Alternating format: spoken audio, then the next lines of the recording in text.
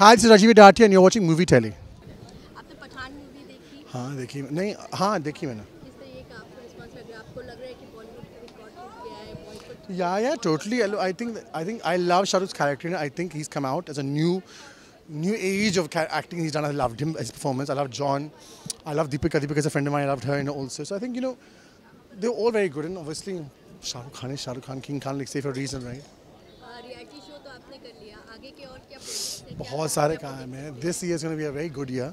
And uh, all I can say the best is yet to come. तो overall और आपका आपका calendar के लिए काफ़ी अच्छे रिस्पांस आए लोगों ने काफ़ी अच्छी पिक्स देखी आपका I think you know everyone's gonna like it एक डिफरेंट कॉन्सेप्ट है कैनल में क्या होता है नॉर्मली सिक्स पैक्स वाला बंदा बॉडी दिखाते हैं ऐसे ऐसे ऐसे, और मेरे पास वो है नहीं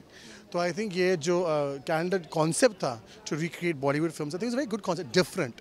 normally people you know nice looking good fashion है ये बिल्कुल अलग कॉन्सेप्ट है that's why like it so I like to go things different